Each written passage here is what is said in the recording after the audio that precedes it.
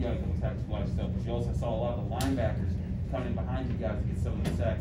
What was that like, you know, you guys creating sort of the opportunities for your team?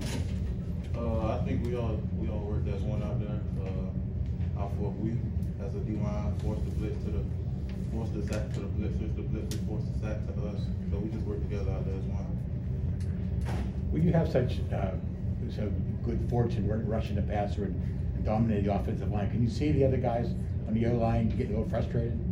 Uh, it was times those guys' eyes got big out there. They weren't on the same page, and I just took advantage of that. And we heard them communicate, and it was it was just it was there. Calijah, we talked to you at the start of training camp. How do you feel the month of August went for you, all those practices, and, and where did you think you grew?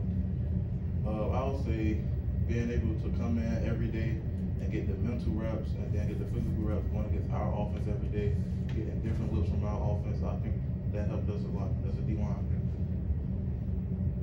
There were a couple series there where you were almost in the backfield every play. Can can like a can a defensive lineman like get in a zone, so to speak, where you're just like everything's working at the same time?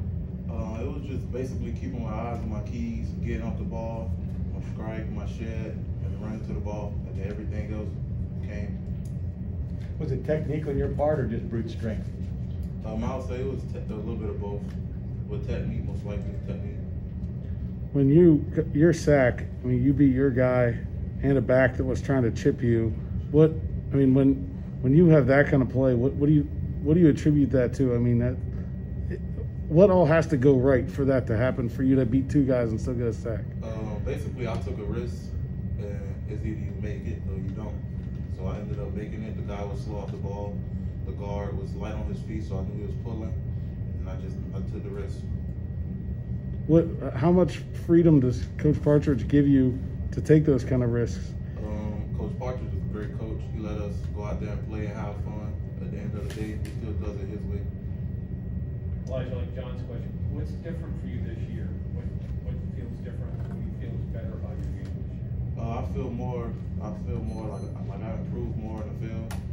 Uh, I would say just picking up tendencies and formations and little keys the offensive lineman give me.